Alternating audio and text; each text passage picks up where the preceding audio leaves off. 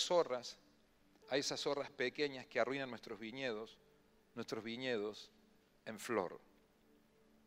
Atrapen a las zorras, esas zorras pequeñas que arruinan nuestros viñedos, nuestros viñedos en flor. Em, las zorras es un animal que cava madrigueras.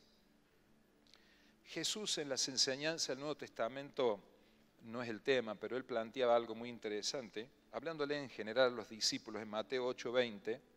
Él decía a Jesús, las zorras tienen guarida, las aves del cielo nidos, mas el Hijo del Hombre no tiene donde recostar su cabeza. Cuando Jesús daba enseñanzas de ese tipo eh, en el diálogo, las personas, hacía mención, ve las aves del cielo, hacía mención a las zorras que tienen guarida. Quiero decirte con esto que era común en la geografía de aquel lugar que existieran este tipo de animales. Eh, y por eso la Biblia hace mención cómo los viñedos se, se arruinaban por el trabajo silencioso de estas zorras pequeñas que iban comiendo las raíces e iban dañando los, los viñedos. Aparentemente el viñedo tenía una espectacularidad en su presentación, pero debajo se iban comiendo las raíces y de pronto vos veías algo que estaba magnífico, pero impensadamente se comenzaba a secar. Llamaría la atención porque uno dice, bueno, ¿cómo es posible que tenga tanta belleza y de pronto se seque? Pero era el trabajo silencioso de estas zorras que comían las raíces, no se detectaba rápidamente el problema, pero evidentemente un día salía la luz y el viñedo se, secaba, sobre todo en una, región donde había mucho viñedo, mucho cultivo de la vid. Bajo el término de zorra, el, original usa la palabra shuel. Los hebreos también incluían, yo oía los comentarios hoy, incluían el chacal. Por eso cuando la Biblia habla en el libro de, le cuento a los que saben de Biblia, discúlpeme el que no le interesa mucho esto, pero a manera de ilustrar mi mensaje, cuando la Biblia habla de Sansón, que tomó aquellas zorras y prendió fuego a los campos enemigos y demás, es la misma expresión. Probablemente se trata de chacales que son un poco más fáciles de ser atrapados. Pero tanto esos chacales como las zorras gustaban de las uvas. Por eso las personas tenían como un vital enemigo, un principal enemigo de los chacales, las zorras, que devoraban también los cuerpos en estado de descomposición y por supuesto cavaban estas madrigueras estos túneles subterráneos iban comiendo las raíces de los viñedos. Jesús lo dice excelentemente bien luego en San Juan, en, el capítulo 15, verso 4.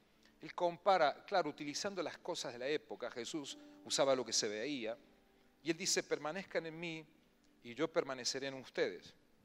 Así como ninguna rama puede dar fruto por sí misma, sino que tiene que permanecer en la vid, así también ustedes pueden dar fruto si permanecen en mí.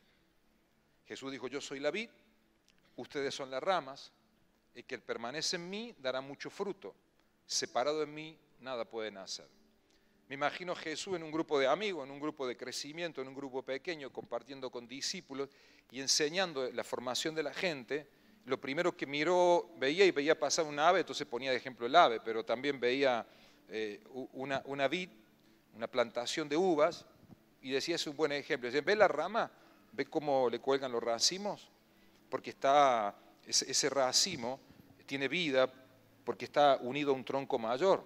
Esa rama está unida a un tronco mayor que la vida, pero si le quitamos su origen y la arrancamos, se seca, se seca el fruto de esa vid. Entonces Jesús ponía ese ejemplo de las cosas cotidianas. A veces el Evangelio la gente lo hace muy difícil al mensaje de la religión, como dice la gente o el mensaje de la fe. Pero Jesús buscaba esas cosas y decía, de esa misma manera ustedes tienen que permanecer en mí para que tengan mucho fruto. Porque si ustedes son arrancados, de mí nada van a poder hacer. Ese concepto, por eso Cantares dice, esas zorras que arruinan las vides, que arruinan los viñedos. Por eso es que nosotros estamos hablando de la vid. Jesús la vid es la vid verdadera, la Biblia, la Biblia dice luego, ¿no? Claro, Usted me preguntará, pastor, cuando usted hace mención a las zorras pequeñas, las zorras pequeñas son aquellas cosas que destruyen nuestra vida o el viñedo actual que hoy somos nosotros, ¿no? Aquellas cosas que destruyen nuestra vida espiritual, que destruyen nuestro crecimiento, que destruyen nuestros sueños, que destruyen nuestra visión. Y a veces son cosas pequeñas que no parecen tener demasiada trascendencia, sin embargo destruyen lentamente, y voy a usar una expresión, lentamente y fatalmente el propósito que Dios tiene con nuestra vida.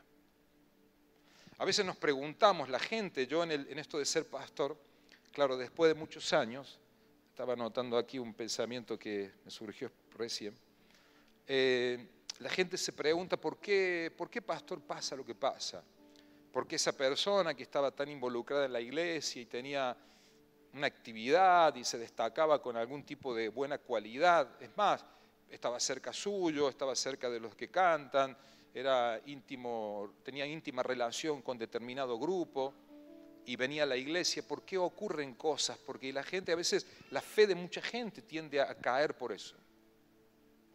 Y es precisamente la Biblia lo desnuda y lo describe de una manera contundente y clara para que uno tenga sabiduría para conducirse. Habla de esas zorras pequeñas que, que comen los viñedos.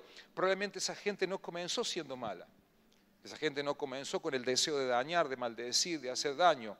Mucha gente que me mira acá son servidores de Dios. Y a veces uno como pastor oficia de corrector, tiene que enseñar cosas y formar, forjar una visión, apoyar, contribuir a la visión mayor, que es la visión, yo lo hago con la juventud esta noche, pero contribuir a la visión mayor que tiene la iglesia, que es este, más orgánica, que tiene que ver con todas las áreas de la iglesia es una visión mayor, ¿verdad?, que tenemos en conjunto, congregacionalmente, y una veces corrige, enseña. De hecho, eso trato de venir hoy aquí como un perito arquitecto, dice la Biblia, a contribuir a la edificación de los santos. Yo vengo a, predicarte cosas de formación de vida, que te enriquezcan, que te ayuden, que te den herramientas para, no para encerrarte acá, sino para el lunes ir al trabajo, o para esta noche salir con tu novia, o con tu grupo de amigos, o tu novio o para salir con, las presiones cotidianas de la vida, o con tu lucha, o en tu mundo de adicciones, o en ese dolor que llevas dentro, esa bronca que te da dentro tuyo, conmigo, con el otro, qué sé yo, con quién, con tus padres, con el que te abandonó, con el que te dejó. Esas cosas pequeñas que van dañando nuestra fe lentamente pero fatalmente. Hay zorras pequeñas que uno no las ve, pero la vida puede sentir que le están trabajando y le están dañando. A veces uno levanta argumentos fuertes en contra de cosas que dañan a la gente. Yo pensaba en la pereza. La pereza es un enemigo fatal, te hace postergar las cosas para después. El mundo del después, mañana lo hago, mañana lo hago. Pensaba en los jóvenes, el tema del estudio, mañana lo estudio, mañana lo apruebo, mañana será, mañana será. El mañana generalmente es la expresión de muchos cobardes que postergan el desafío que la vida te presenta hoy. Mañana hablo, mañana digo, mañana digo, mañana hablo.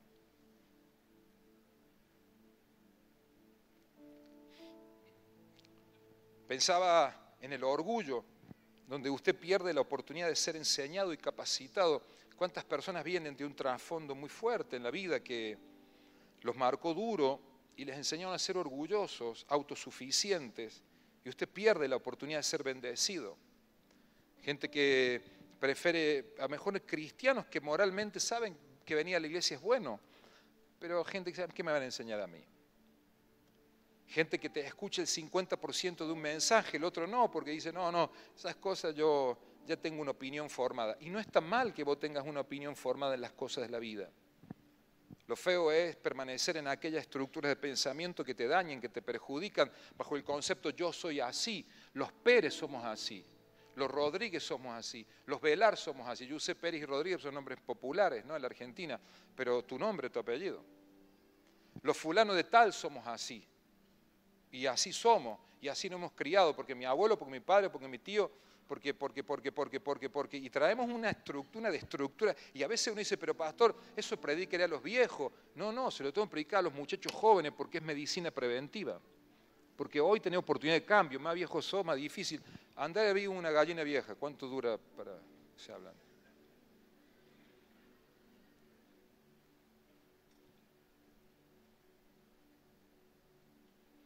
Perdés la oportunidad de ser enseñado, capacitado. A mí me impresiona jóvenes viejos. En el DNI dice que tienen una edad, pero hablas con ellos y te das cuenta que están viejos de espíritu. Son soberbios, prepotentes, insolentes, atrevidos De hecho, hay una generación insolente, atrevida en la calle hoy. Pero tiene, yo no lo justifico, ¿eh? por favor, entiéndame los adultos que nos ven. Pero sí sé que responden a, todo lo que han vivido. Han tenido que aprender a autodefenderse porque se han criado solos. Se han criado con malos ejemplos y por eso te patean las cosas en la calle, son rebeldes en la escuela. En el, todo lo que significa autoridad tiene que ver con eh, una amenaza para ellos. Así que la autoridad también ha decepcionado mucho. Son cosas que van dañando, son pequeñas zorras donde la gente pierde oportunidades, noviagos mal constituidos. Noviagos mal constituidos te llevan a perder santidad, te llevan a perder integridad. Estar con la persona equivocada te lleva a perder tiempo, propósito en la vida. Ni qué hablar establecer una relación de matrimonio con una persona que vos sabés que no era la voluntad de Dios. Yo siempre suelo decir, ahora son las 10 y cuarto de la noche. ¿Cuánta gente a veces está en la reunión a esta, hora u otra hora, un domingo a la mañana, martes, no importa? Está en la reunión escuchando el mensaje y su compañero de vida está allá sentado viendo el partido, la telenovela o la película de turno y los mensajitos se repiten, los mensajes de texto, los WhatsApp, ¿te falta mucho? ¿Ya termina? ¿Ya viene? ¿Otra vez te vas ahí? Te secan la cabeza porque gente que no interpreta lo que interpretar no, no tiene el llamado, pero tuviste oportunidad de corregirlo a tiempo, después es difícil. Digo, por eso digo medicina preventiva, porque se le debería predicar esto a todas las edades, pero hablarle a jóvenes es mucho más saludable, interpreto yo, porque hay tiempo de tomar decisiones en la vida. No congregarse como es debido, uno pierde la oportunidad de ser edificado, posterga las cosas por amistades, por relaciones porque Dios perdió prioridad en tu vida, entonces hay cosas que toman la prioridad. El fútbol, los amigos, las relaciones. El pecado te, aparta de Dios. Consumir lo que nos corresponde. Lo que no corresponde, evidentemente, va engrosando tu hombre en tu carnal. El hombre espiritual pierde vigencia y, lógicamente, congregarse ya no es prioridad para tu vida. Pequeñas desobediencias a la palabra de Dios, que no son grandes cosas, pastor. Si usted me pregunta si yo adultero o no adultero, ¿eh? Si maté gente el sábado pasado, no. Pero hay cosas pequeñas que no tienen tanta trascendencia en el criterio de mucha gente, pero no así en el criterio de Dios, que van dañando nuestras raíces. La inconstancia. Hoy voy al discipulado, mañana no. Hoy voy a la reunión, mañana no. Tres meses bien, dos meses mal. Cuatro más o menos, cinco bien, tres regular. Es imposible prosperar en la vida así. Llevar una relación de matrimonio exitosa es imposible así si no desarrollas constancia en lo que haces. Tres meses está enamorado, dos meses más o menos. Un mes vas a pensarlo, el otro mes a ver.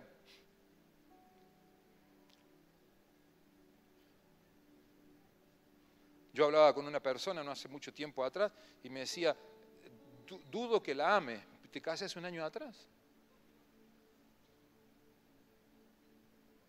Pero su vida fue así su vida, laboralmente, emocionalmente.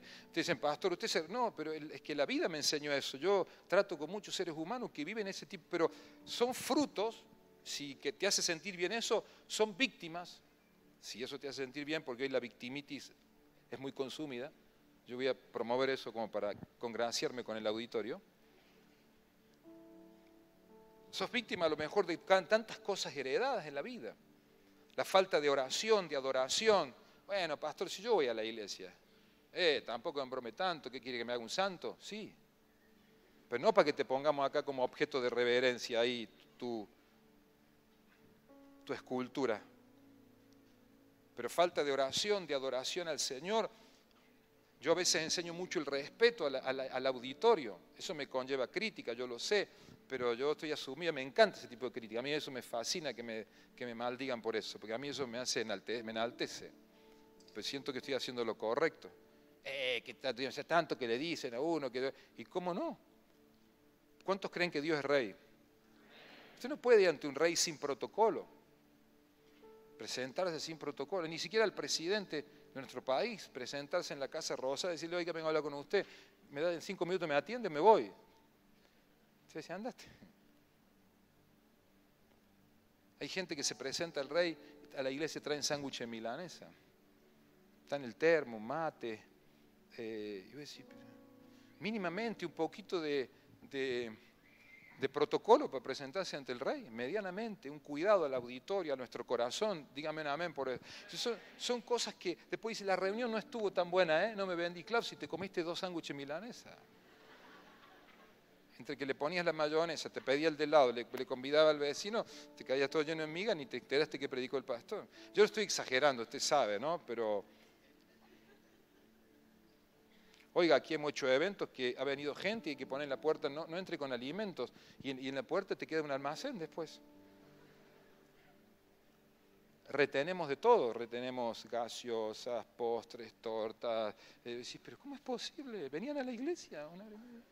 También que nuestro servicio era un poco largo, pero tampoco una cena, o sea, no es un picnic promesas incumplidas al Señor, promesas incumplidas a la gente, que todo el mundo ya te tiene por, por un incumplidor, ya toda la gente sabe que eres así, qué feo eso. Yo los días le decía hace tiempo atrás a un obrero, le digo, ya todo el mundo sabe que no atiendes el teléfono, ni siquiera la gente que está a tu lado, ya todo el mundo, ya, ya todos te conocen por cómo eres, que eres irresponsable, que no cumples con la palabra que das, qué feo porque eres querible, uno se da cuenta que sos buena gente pero esa área de tu vida te ha llevado a perder credibilidad, por eso la gente no quiere venir a escuchar lo que tú enseñas. Me decía, ¿por qué no, no, tengo productividad en lo que haces? Porque no eres creíble. Porque esas pequeñas zorras te, robaron la credibilidad. Porque eres inconstante, no das cuenta, no respondes, tienes tres meses, no, no, eres previsible, tres meses estás acá, dos meses estás allá, un mes estás acá, un mes y cuarto estás para el otro lado, no eres, eres zorras pequeñas, hay gente que dice no prospero, pero si no eres fiel en ofrenda, en diezmo, no activa los principios que Dios dice sobre el dar. Por eso hay viñedos que están secos o viñedos que están perdiendo la vida y así no pueden dar fruto, porque Dios nos puso en la tierra para fructificar. La Biblia nos enseña de la trascendencia de las cosas pequeñas. Por eso Eclesiastés capítulo 10, verso 1, dice, ¿a cuánto le gusta el buen perfume aquí? Eso tendría que haber más, todos tenían la mano. Oiga, si no le gusta que Dios lo cambie, ah, use perfume, por favor. En nombre del, bien de la comunidad, por favor. En solidaridad con el resto de los conciudadanos, use perfume. Bueno, jabón también. Y al agua no le tenga miedo, aunque hay que cuidarla, pero hágale al agua también. Vuelvo a preguntar, ¿cuánto? hoy se ha puesto muy de moda consumir gente que puede y el que no puede lo paga en unas y se compra un perfume que le llamamos importado. Y uno dice, a mí me gusta ese. Y hay gente que ya tiene la marca, que, le gusta y dice, a mí yo estoy definido con esta fragancia, pastor, a mí me gusta esta fragancia. Y está bien, son gustos de la gente que lo destacan. Yo prefiero que tenga ese anhelo y no el otro que uno no quiera acercarse porque no, respeta el mínimo de, de higiene. Oiga, si usted quiere tener buenas relaciones, preséntese bien. Báñese. Use desodorante. No, usted se ríe. Yo estaba en la fila en, Estados Unidos y la gente estaba en los aeropuertos, te hacen, bueno, habitualmente me pasa eso. Ahora las medidas de seguridad te hacen quitar el calzado. Eh, te quitan todo, tu cinto, todo sea metal, y si tenés a, cada tanto quitan a uno de manera especial, te sacan a un cuartito y te, te, revisan de manera especial, pero los calzados te sacan.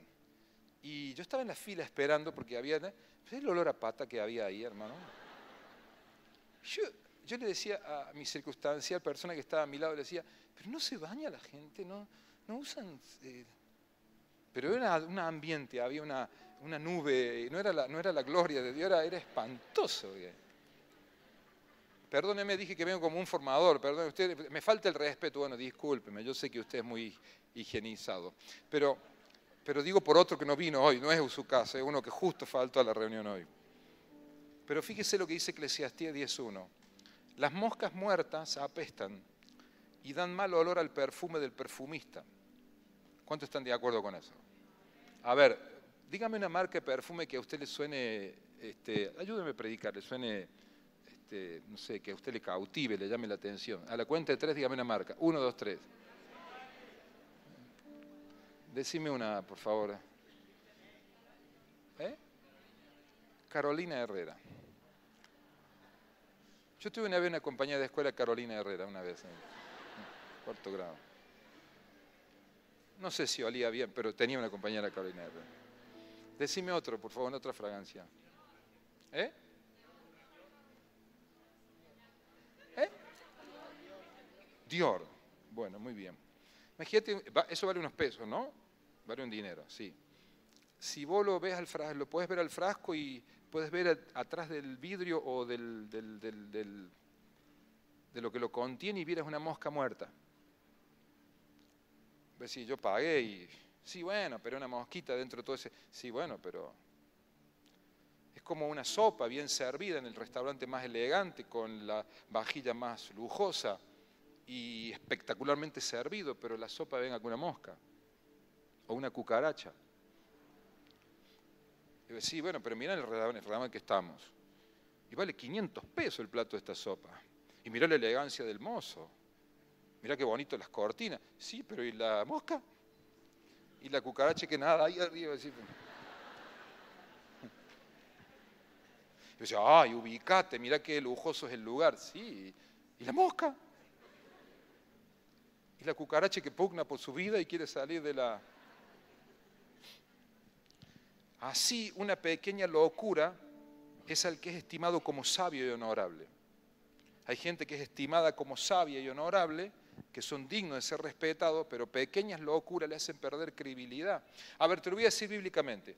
Por un pecado, bueno, es Biblia lo que acabo de leer, pero para, lo de la cucaracha no, no está en la Biblia, eso lo acabo de decir yo. Por un pecado, Adán perdió el paraíso. Por un pecado, Moisés no entró en la tierra prometida, golpeó la peña con ira, la roca, ¿no? Por un pecado, David no pudo edificar templo a Jehová. Bueno, adulterio, asesinato. Son pequeñas cosas la vida que te cancelan el proyecto que Dios tiene para tu vida. Levánteme su mano al cielo. Usted tiene un destino de gloria sobre su vida. Míreme, míreme, por favor. Entusiasmese un poquito. Hay un destino de gloria para usted. Hay un propósito de Dios, hay un diseño divino que ha determinado que usted ha sido llamado para grandes cosas. Hay un proyecto de Dios sobre su vida. Quiero que lo reciba. Nuestro congreso se llama Imparables, el que vamos a tener los próximos días. Porque Dios quiere que usted sea imparable, que no lo detengan las circunstancias, la adversidad, que usted pueda brillar en medio de la oscuridad, que usted pueda cambiar la atmósfera, ese llamado que ya desarrollas, que puede irse cultivando, que puede irse creciendo. Yo no sé lo que hacen un trabajo, pero ¿cuántos quieren continuar prosperando? ¿Cuántos quieren ir avanzando escalones? Bueno, para que eso sea posible, es vital que nos sea revelado estas cosas que Dios nos confronte en áreas de nuestra vida, porque hay zorras pequeñas que dañan tu credibilidad, tu proyección en la vida, lo que Dios quiere hacer contigo. Hay zorras pequeñas, hijo, que te han hecho perder tu propósito en la vida, que te han sumergido en un mundo de frustración, que sabes que sabes que podrías llegarlo, pero no llegas y le culpa a los otros, le echa la culpa al otro, el pastor el malo, el padre el malo, la madre el malo, el Macri, la Cristina, todos son malos y no sé cuánto grado de maldad tenga, capaz que todos tuvieron un grado de incidencia, pero en definitiva el que tuviste que decidir fuiste vos. Entonces Dios nos asigna espiritualmente garrotes, palos, para que tú puedas agarrarte a palazos con las zorras pequeñas. Para que puedas aprender a, que no, esas mosquitas muertas no entren en, el perfume del perfumador. Para que no dañen la riqueza que Dios tiene, que, que tiene tu vida, la riqueza. Oiga, yo hablo aquí y no es por quedar bien, aunque quiero quedar bien y quiero congraciarme con vos, pero no es para elogio fácil, para arrancar un aplauso. Yo veo gente con un talento, un potencial magnífico. Yo sé que hay gente que le estoy hablando aquí, que luego ya no le veré, pero no es porque se van a apartar de Dios, sino porque veo primero que van a ser posicionados en otra dimensión, van a haber superado una, etapa y, Dios va, a hacer cosas con su vida. Yo, sé que es así. Es más, lo, entiendo con mi propia vida que ha sido así, porque eso es la dinámica de la vida. Entonces yo me siento que estoy delante de gente con un potencial extraordinario. Y me duele tanto cuando hay gente que se queda en el proyecto de la vida, gente que debería estar aquí o estando aquí tendría que estar en otra posición, en otro nivel, simplemente porque no tuvieron el carácter, la decisión de cosas que el Espíritu Santo te habla y tú sabes que Dios te habla, para tomar contundencia en esas cosas, cambiar hábito y romper con cosas que han dañado esas raíces que te han mantenido unido a la vid verdadera, a ese Jesús, para que tengas fruto y tu fruto prospere. Yo quiero decretarte hoy hacerle guerra a la esterilidad. quiero arderle guerra a la improductividad.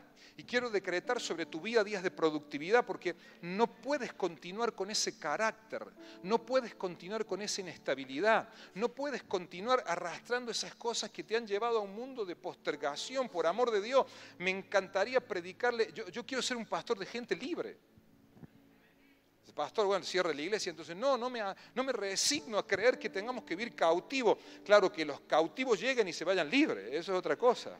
Levánteme su mano al cielo. Yo quiero predicar a la gente que, que, pueda desarrollar todo el potencial que Dios le ha dado, que usted progrese en la vida. El mensaje que esta iglesia predica, usted le tiene que funcionar, usted tiene que estar mejor. El pastor dice algo, el pastor Carlos, el pastor de esta iglesia, él dice algo que es muy fuerte y a veces puede ser tomado malinterpretado pero es correcto lo que el pastor dice. Él dice lo siguiente, si usted viene aquí y el mensaje a usted no le funciona, váyase, busque otro lado donde congregarse.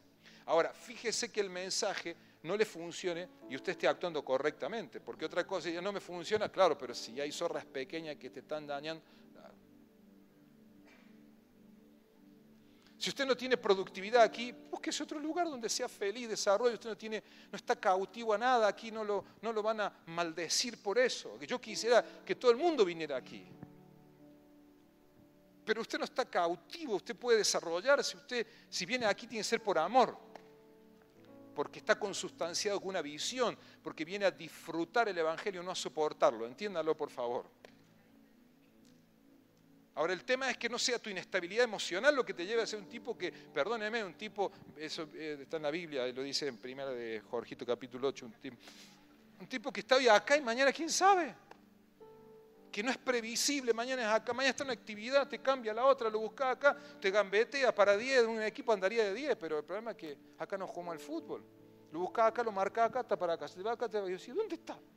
No sé, estaba en esencia, fue a buscar esencia, estaba en Nexo, lo buscar en Nexo, no andaba por renuevo, lo nuevo, no, estaba con los de Gen, interpreta señas, lo busco allá, no, el tipo está en discipulado, no lo encuentra nunca, tenés que llamar a Letter para que venga a buscarlo. No lo encontramos. Dios quiere que rompa esa inestabilidad. Oiga, cuando hablo de, mírenme por favor, cuando hablo de zorras pequeñas, hay cosas que están en el corazón tan guardadas no podés vivir la vida así con resentimiento, con bronca. Un día tenés que superarlo, porque eso te posterga, te hace ser feo, no te hace ser querible. Si no, la gente te pone en estigma, lamentablemente te estigmatizan, el loco, el inestable. Mientras tenés cierta edad, tenés chance.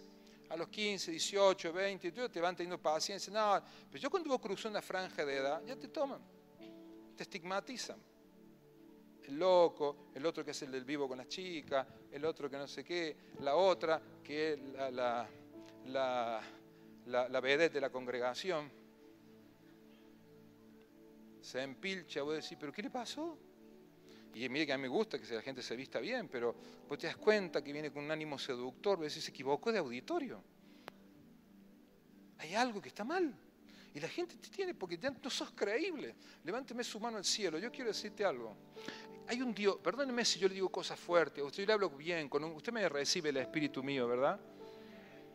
No, no lo recibe, bueno, recibe lo recibe, ¿verdad? Quiero que lo reciba. Yo le hablo para que le vaya bien, porque usted está para grandes cosas. Usted nació para formar una familia estable, para que usted nació para alzar a sus hijos, para reírse. Usted nació para enfrentar las presiones de la vida también, porque la vida se nutre de dolores. ¿Cómo no? Pero Dios te da el recurso anímico para enfrentar esos dolores. Usted nació para cambiar las atmósferas donde usted se mueve. Usted nació para cambiar el llanto en esperanza. Usted nació para traerle consolación a los cautivos. Usted nació para cambiar las estructuras pensantes que arrastran, lo dije los familias, los Velar, los Rodríguez, los pone que el apellido suyo. Usted nació para dejar un legado distinto. Usted puede romper con la miseria, usted puede romper con la ignorancia, usted puede romper con, con la autosuficiencia, porque está al otro extremo, el que está lleno de títulos y lleno de cosas y de una familia tan estabilizada económicamente que te dio tanto que hoy eres, no, no eres permeable a nada, porque supones que todo lo sabes y que, tu familia tenía un... Y bueno, gracias a Dios por lo que consiguió tu abuelito y tu padre, pero el desafío es tuyo ahora. De no comerte la herencia que te dieron. por favor reciba lo que voy a decirle ahora. A usted lo que le conviene en la vida es desarrollar intimidad con Dios. Yo, tenía que predicar un tema hoy titulado Dios ya lo sabe. Pero, pero venía hablándolo con mi esposa, no, no tenía paz en predicar lo que iba a predicar. Y, y el Señor me puso esta palabra en el corazón. Será el sábado próximo bajo una serie titulada entonces Dios ya lo sabe, porque puedes hacer, mírame por favor, puedes hacer tu mejor esfuerzo para ocultar las cosas y para actuar, porque los seres humanos actuamos, ¿eh? Uf, oiga, yo lo puedo engañar a usted, perfectamente. No por mucho tiempo, pero hay una etapa que lo puedo engañar y usted me puede engañar a mí, ¿cómo no? En muchas cosas. Pero tarde o temprano lo oculto sale a luz. Pero si uno desecha la intimidad con Dios, y desecha su relación con Dios. Entonces uno ahí empieza a alejar, dije, dije al comenzar cuando estábamos adorando al Señor, tu presencia es el cielo para mí, es lo mejor para mí. Cultivar la intimidad con Dios te hace parecer a Dios. Y no es que usted no va a tener presiones, no va a tener lucha, no va a tener que luchar contra las zorras pequeñas, pero usted tendrá la victoria de Dios, usted tendrá la gracia para emerger en victoria, porque usted no nació para vivir en derrota. Escúcheme, por favor, usted cultive intimidad con Dios, que las cosas que tengan que morir mueran en la intimidad y no tengan que morir en público. Que las cosas que tengan que morir mueran en la intimidad de su relación con Dios, las cosas que usted tuvo que matar un día. Voy a decirte algo, hay cosas que te duelen porque todavía no las has matado. Lo que te hace doler es porque todavía no lo mataste. Pero lo que tenga que morir, que muera en la intimidad de tu relación con Dios y no sea que un día te expongan públicamente esas cosas que te quitan la credibilidad, que te hacen ser el asme reír de los otros. Pero que te se ríe el otro, es lo mismo, te cambia de ciudad y listo. El problema es que Dios ya lo sabe. Yo te voy a decir que hay dos personas que saben lo que tú vives. Es Dios y usted. Vos y Dios saben. Y vos puedes hacer la mejor actuación de la vida y ser un perfecto engañador y un estafador. Suena fuerte, pero la verdad que es así. Pero que lo que tenga que morir, hijo, se muera en tu intimidad con Dios, porque voy a decirte algo, usted yo no sé si se escandalizará de mí, pero yo tengo que hablarle auténticamente. Yo tengo que hacer cosas, morir cosas en mi vida para hacer lo que hago. Que se muera en la intimidad y no se mueran en público. Que no quede expuesto. Porque hay un Dios que ve tu intimidad y te quiere sanar, te quiere bendecir. Dios te quiere sacar adelante, Dios te quiere ayudar. Oiga, Dios, esta, mire, yo tengo este libro aquí escrito ese, uff, que tiene años, esto es viejo. Los chicos hoy se ríen de lo, de lo viejo. Por la, oiga, esto no ha perdido, esto le gana al iPad, al iPhone 7, 9, 14, W, raíz cuadrada, Q4. Le gana todas las novedades. La Biblia no ha perdido vigencia, es palabra de Dios. Que lo que tenga que morir muera en la intimidad y no muera en público. Vaya Dios, hay un Dios que es por esencia restaurador. Hay un Dios que es por esencia amante, Dios ama. Dios restaura. Voy a decirte algo, Dios sana. Y, a veces cuando uno le predica a los auditorios jóvenes, me ha pasado, me dice, pastor, yo estoy sano, tengo 20 años, así que le pongo el pecho a todas las cosas. Pero voy a decirte algo, hay algunas cosas que son las enfermedades del alma, que no las sana ninguna terapia, hijo. No la sana ni el medicamento más costoso, ni el laboratorio más prestigioso ha desarrollado un medicamento capaz de sanar las heridas del alma. Solo la paz de Dios, que sobrepasa todo entendimiento humano, te arranca en un segundo el rencor, la bronca, la falta de perdón, las heridas del ayer, haber sido abusado, ultrajado en tu intimidad, haber sido abandonado, haber sido objeto de la violencia física o verbal Solo el Espíritu Santo lo puede hacer. Y yo quiero ofrecerte gratuitamente hoy la presencia de Dios que está aquí para sanar tu vida, tu corazón, restaurarte esta noche y bendecirte. Tome un, garrote, por favor, en su mano, se lo regalamos cuando entró a la reunión. Tómelo, por favor. No me pregunte dónde está, use la imaginación, por favor, ya se lo enseñaste. No me diga dónde está el perfume. Ese garrote que tiene ahí, tómelo en la mano. Tome el otro grande, el que pesa, lo veo con la cara muy tranquilo, el que pesa, el garrote gordo ese. Me va a hacer el favor de pegarle un garrotazo a, a todas las zorras pequeñas ahí.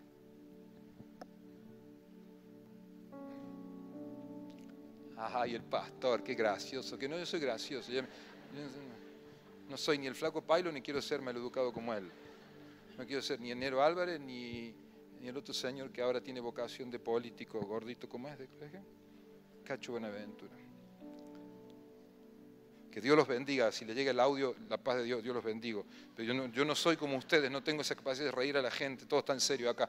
Le estoy a 3.000 personas, no hay una mueca acá. Quiere decir que no tengo ese talento. Yo no estoy diciendo, sí, quiero que tome el garrote.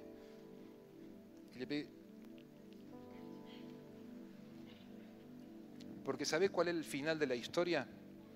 Es que te van a llevar a ser improductivo. Por eso Jesús dijo, que es magistral lo que dice Jesús. No lo escogí yo a ustedes. No me escogieron ustedes a mí, yo lo escogí a ustedes. Y les comisioné para que vayan y den mucho fruto, y escuche esto, y tu fruto permanezca. Fíjese, maravilloso. Yo, yo soy eso. Yo soy el producto de ese texto bíblico. No me escogieron ustedes a mí, yo los escogí a ustedes y los comisioné para que vayan y den mucho fruto, coma, y que el fruto perdure, permanezca. Yo, yo soy ese proyecto de Dios. Yo cuando veo ese camino en lugares, pongo el pie en lugares, yo dice, yo nunca imaginé, ni en los cálculos más optimistas que un día yo andaría por acá. Porque yo he llegado a la conclusión, cuando se, habla tanto de liderazgo, liderazgo, liderazgo, liderazgo, hay curso de liderazgo para todo, usted lo ve en el ámbito secular y en el ámbito cristiano, bueno, ni qué hablar. Liderazgo, liderazgo, y buscan la Biblia, no está en la, nunca la parada líder, pero bueno, uno hace, viste, encontrar siervo, encontrar apóstol, pastor, profeta, encontrar servidor, pero no al líder no lo encuentra, pero bueno, nos gusta la palabra líder, a nosotros nos encanta. Y damos curso y seminario y trabajamos cuatro pasos, ocho, catorce, diecinueve, veinticinco. Entonces yo entiendo, usted pastor, no entiende claro, entiendo el liderazgo, uno que está en referencia, lo entiendo claramente. Tengo un conflicto con eso, pero me hacen ruido algunas cosas que se han perdido la esencia, como, igual que tantos decretos y tantas publicaciones y tantas confesiones. La Biblia habla de ruegos y clamor y oración. Eh, pero bueno, entiendo, pastor, el valor de la palabra. Me sumo, bueno, adhiero, está bien. Hay que ser ampliamente, ok. adhiero, entiendo, entiendo. Perdóneme que le estoy haciendo una catarsis delante suyo.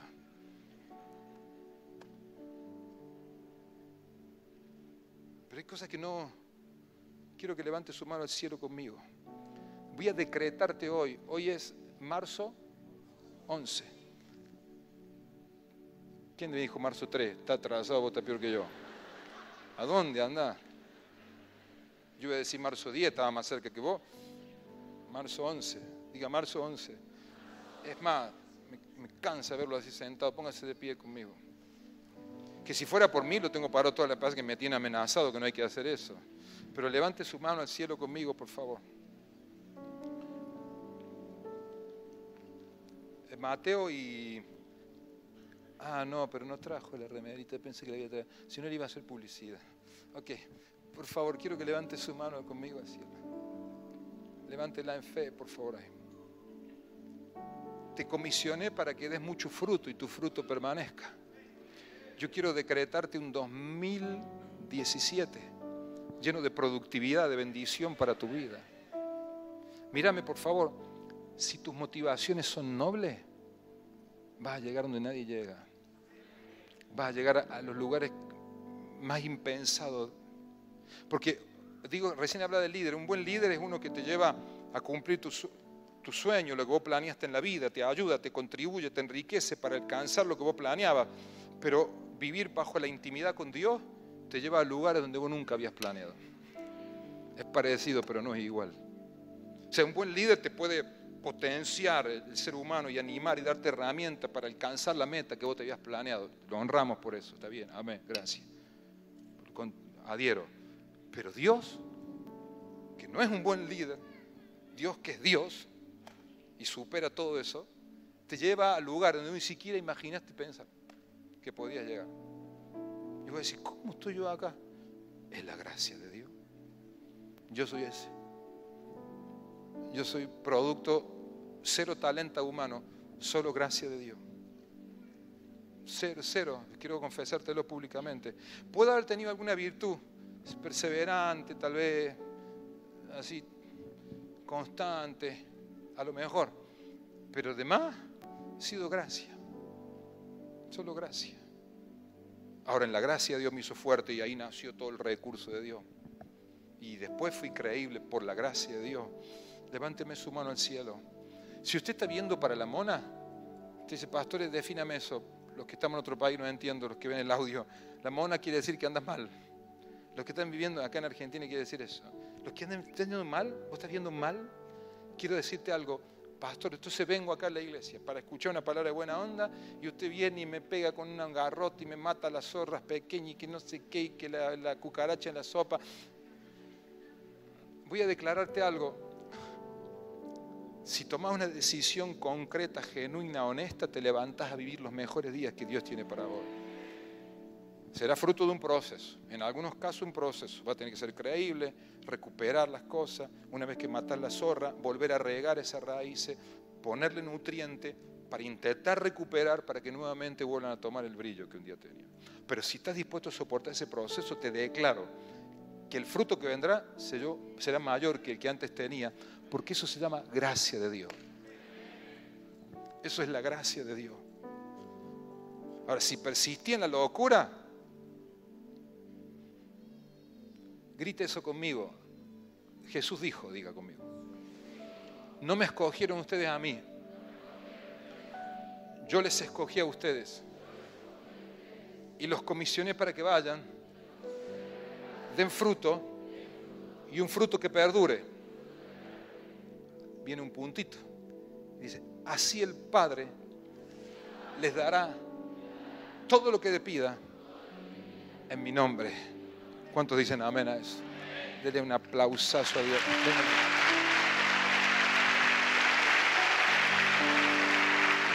Venga el equipo de adoración, por favor. Si va a aplaudir, aplauda con fuerza, con ánimo.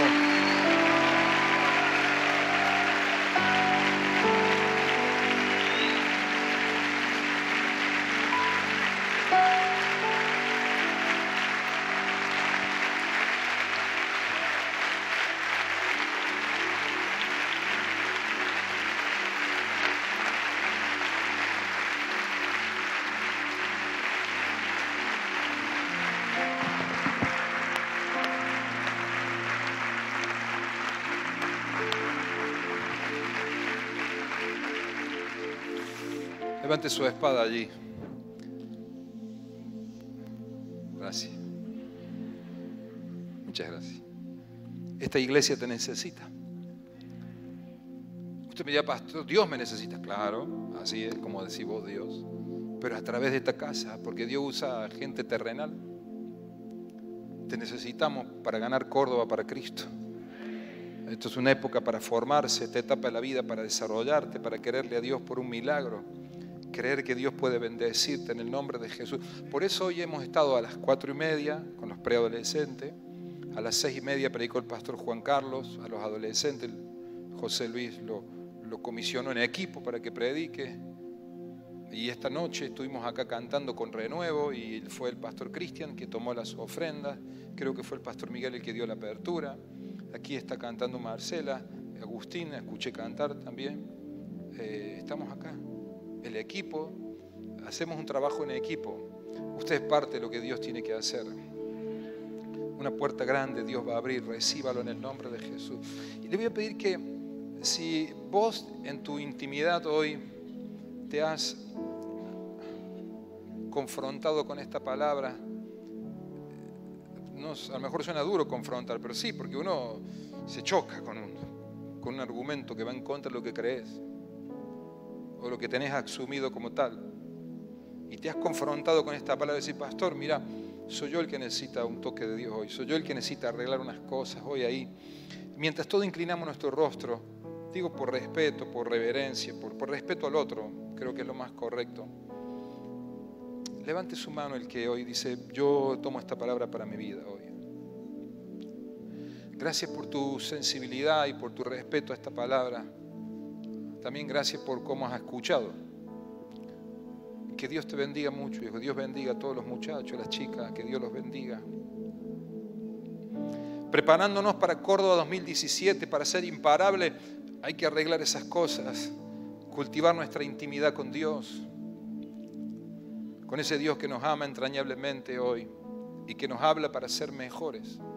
Yo necesito ser mejor, usted necesita ser mejor. Yo veo tu mano, bueno, no las puedo ver todas porque el auditorio es grande, pero sí veo una importante cantidad de manos levantadas. Lo más importante que Dios la ve y es un señal de pacto, de compromiso Decirle, Señor, ese soy yo el que te necesita. No, no me da lo mismo vivir mal que vivir bien. Yo quiero cambiar. No, no es lo mismo para mí andar así. Yo quiero encontrar un rumbo para mi matrimonio que he comenzado. Quiero encontrar un rumbo para mi noviazgo. Quiero encontrar un rumbo para mi futuro. Y necesito, Señor, luz. Y, Dios te habla hoy. Y tú dices, yo, quiero confrontar esas cosas. No quiero ser un manipulado por, por, por las cuestiones en mi intimidad sexual. No quiero ser manipulado por mis resentimientos, por mi bronca por la pereza, por el orgullo, por la vanidad. No, no, no, yo necesito ser productivo. No puede ser que la vida siga pasando y no haya productividad en mí. Ser inestable, inconstante. A lo mejor estás escuchando el audio en Radio Amistad o en donde se esté difundiendo esto y Dios te habla para que hoy tomes una, una decisión y te levantes a vivir los mejores días que Dios tiene para ti hoy que lo recibas en el nombre de Jesucristo. Nos encantaría orar por ti, nos encantaría declarar una palabra de Dios sobre tu vida. Quiero que lo recibas en el nombre de Jesús, el Señor. En este ambiente de adoración quiero que tomes una decisión y le digas algo al Señor que nazca. Claro, ese algo tiene que ser en la intimidad porque no se tiene que enterar el vecino lo que tú oras privado, ¿no es cierto? Pero dile algo a Dios. Yo estoy persuadido que el Espíritu Santo va a respaldar esta impartición esta noche en el nombre de Jesús, el Señor.